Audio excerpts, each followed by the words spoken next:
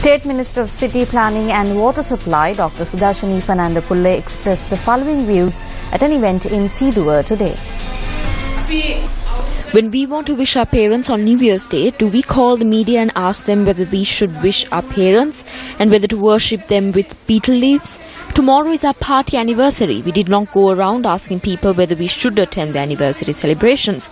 We have a definite responsibility to attend the celebrations of our party anniversary and to strengthen the future journey of our party and to create a strong SLFP government by 2020.